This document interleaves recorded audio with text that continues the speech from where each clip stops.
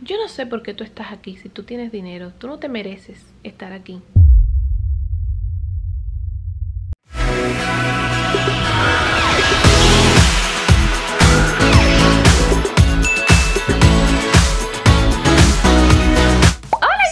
bienvenidos al mundo de Camila Muchísimas, muchísimas gracias por estar nuevamente conmigo Y te invito a suscribirte si aún no lo has hecho Dale, te voy a esperar Recordarte que te suscribas en mis redes sociales como son Instagram, Facebook y Twitter. Van a estar apareciendo mágicamente por aquí abajo, así que corre, corre a suscribirte. Mis amores, y en el video de hoy les tengo un story time slash preguntas que ustedes me hacen por Instagram. Para los que me están siguiendo en Instagram, ustedes saben que de vez en cuando y de cuando en vez por las noches yo les hago historias. Así mismo, puede ser una historia de mi vida, puede ser una historia de alguien que me encontré Normalmente me encuentro cada personaje que ni les cuento, ¿eh? Pero bueno, hace poco les estuve contando que yo fui parte del equipo de Julio Iglesias. Así mismo.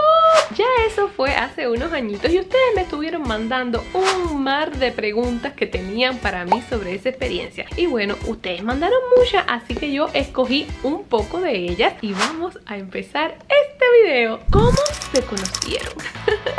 Mis amores, nos conocimos en casa de Julio Iglesias después que uno de los asistentes de él me había visto bailar a mí en mi cumpleaños. Así mismo, ahí estaba yo entregándolo todo, bailando, bailando, sin pensar ni siquiera que alguien ya me estaba haciéndome un pequeño casting. Y bueno, ya después de eso me llevaron a casa de Julio y eso fue wow. Fui como a una cita ciega, a mí me habían dicho, Cami, alguien te quiere conocer, tienes que ir, tienes que ir, tienes que ir. Y bueno, yo accedí y ahí me aparecí. ¿Y quién ustedes creen que abrió la puerta? Julio Iglesias. ¿Cómo fue tu expresión al verlo? Esa pregunta creo que mejor la responde Julio Cormino porque yo me quedé como que... Ah, ah, o sea, todas las caras que tú te puedes imaginar que una persona haga, yo las estuve haciendo, pero por dentro, ¿no? Por fuera yo mantuve mi calma y todo así como que muy seria y muy educada y muy fina yo. Y creo que me fue bien. ¿Qué humor tiene? Julio se la pasa haciendo bromas. Le encanta, le encanta reírse, tener un almuerzo, una cena, un desayuno con Julio es garantizado estar riéndote todo el tiempo. Es bueno trabajando. Bueno, Julio es una persona demasiado, demasiado recta cuando viene a ver con el trabajo. Todo tiene que estar puntual, todo tiene que estar como él quiere y obviamente él está en donde está por todo el enfoque que él ha tenido en su carrera, ¿no? Esta pregunta me la hicieron muchísimo. ¿Conociste a Enrique Iglesias? No conocí a Enrique, mis amores, pero sí estuve presente cuando ellos hablaban por teléfono, así que eso fue lo más cerca que estuve de Enrique Iglesias. ¿Te llevabas bien con tus compañeros de trabajo? Yo me llevaba bien con todo el mundo. Yo nunca tuve ningún problema con ningún compañero, con Julio, obviamente nunca, nunca tuve un problema. Me llevé muy bien. ¿Tu vida privada se vio afectada por trabajar con un famoso? No creo que mi vida privada se haya visto afectada en el sentido de que cuando yo entro a trabajar con Julio, recuerdo que una de las muchachas que trabaja para él me dijo, siempre tienes que tener una maleta lista porque Julio llama, cuando él nos llama, pues ya hay que estar listos y hay que irse corriendo al aeropuerto. Entonces, para mí, eso fue como que, así ah, es así. Bueno, pues yo hice mi maleta y la tuve ahí preparada por un tiempecito, ¿no? Hasta que un día me llegó esa llamada. Recuerdo que yo estaba jugando tenis, me llama mi nana, me dice, Cami, están llamando que Julio se va y ustedes tienen que estar ahí en el aeropuerto. O sea, yo tuve que ir corriendo a mi casa, bañarme, coger mi maleta, que gracias a Dios sí la tenía ella ya y irme. En ese sentido quizás puede que haya afectado un poquitico, pero no, no lo vi como un problema. ¿Cuál fue tu momento favorito trabajando con él? Era cuando ya se acababan los conciertos y nos reuníamos con él y entonces él te hacía todas estas historias. O sea, Julio tiene tanto para contar. Julio ha visto tanto en este mundo que, wow, escucharlo a él era increíble. Fue caballero contigo mientras trabajaron juntos. Conmigo fue súper caballeroso. Julio jamás en la vida se pasó. Hay personas que dicen que él es mujeriego. Por lo menos en mi tiempo, en el tiempo que yo estuve junto con él, jamás yo vi a Julio haciendo nada indebido con ninguna de las chicas. Julio es un caballero, todo un caballero de verdad. Si Julio Iglesias fuera más joven, ¿tendrías algo con él? Bueno, Julio, si fuera más joven y yo fuera soltera y si no estuviera casada y él no estuviera casado, bueno, uno nunca sabe, ¿no? Pero Julio es una persona muy guapa, de joven súper guapo. Eh, yo creo que sí, ¿no? Pero él tendría que estar soltero y yo también soltera.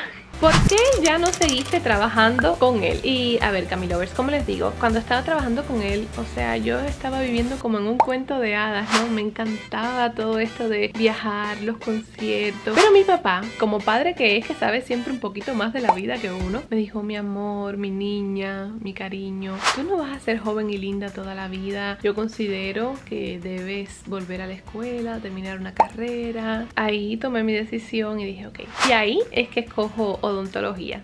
¿Cuánto dinero ganabas? A ver, no les voy a decir el monto exacto, pero ganábamos bien. Y recuerdo que mi primer cheque, llamé a Julio y le dije, jefe, muchísimas gracias, es el primer dinero que me gano sin que haya sido de un negocio de mis padres. Él se rió muchísimo con eso. ¿Prefieres este trabajo o tu actual trabajo? A ver, mi actual trabajo es mi trabajo de mi carrera, es de odontología. Ustedes saben que yo amo, amo la odontología. Y mi otro trabajo es hacer YouTube, que también o sea, estar frente a la cámara, hablarles a ustedes, estar así tan pegaditos a ustedes, para mí eso no tiene comparación, ¿no? Con nada, pero trabajar con Julio también fue una experiencia muy linda, así que no voy a decir que quiero una más que la otra, porque de verdad que todo ha sido muy lindo. Su voz es real.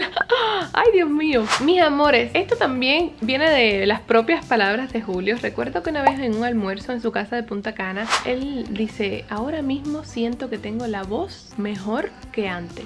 Y ahí mismo en la mesa se puso a cantar. Ver a una persona sin nada de instrumento, les estoy diciendo, y llegar a esas notas altas así, a capela, para mí fue como que, wow, yo estoy presenciando algo grande de verdad. ¿Se parece a Enrique Iglesias? Yo creo que la pregunta es si Enrique Iglesias se parece a él, ¿no? Yo creo que sí, yo creo que ellos tienen su parecido y yo consideraría que sí, que sí se parecen. ¿Conociste su casa? Sí conocí varias de sus casas hermosas, hermosas todas las casas de él. Pero sí, sí las conocí. ¿Tuviste alguna mala experiencia? Con Julio, nunca. Con su esposa, nunca. Jamás. Ni con los managers de Julio. Les voy a contar una anécdota que me pasó con una de las chicas que bailaba también y estaba en el coro junto conmigo. En el concierto que da una vez Julio en Miami, que a ese concierto es el único concierto que mis padres pueden ir, y justo antes de salir yo paso por uno de los camerinos y una de las chicas me dice así, tan fríamente, en un concierto que para mí era importante porque iba a estar toda mi familia allá afuera.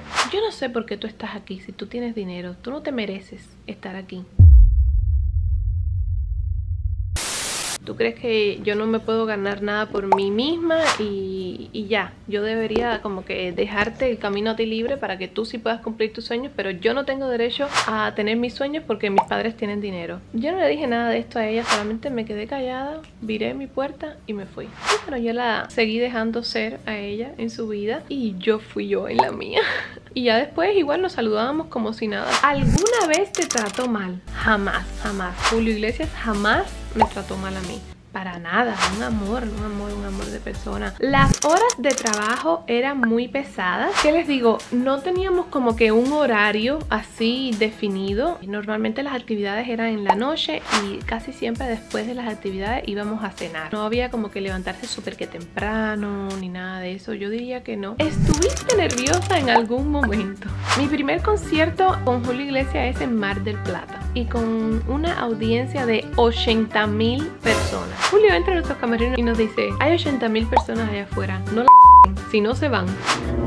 Y yo como que, yes, justo, qué palabras eh, más buenas nos han dado ahora. Pero nos salió todo súper, súper bien. Esa fue como que la vez que más nerviosa me puse. O sea, esto no era ni alante de 5 mil, 2 mil, no, 80 mil personas. Como para romper el hielo de una. Y por última pregunta tenemos, ¿volverías a trabajar con él? Ahora mismo no, no creo que pudiera volver a trabajar con él. Quizás lo volviera a hacer de una manera así como que freelance. Nada de, quedarme ahí siempre. Pero sí, me encantó ser parte del equipo de él. Yo amé esa experiencia. Y ahora sí, mis amores, vamos a terminar este video que yo creo que ha quedado largo, largo, largo, como del tamaño de un majá. Los quiero, los amo, los adoro. Y colorín colorado, el mundo de Camila por hoy Se ha acabado.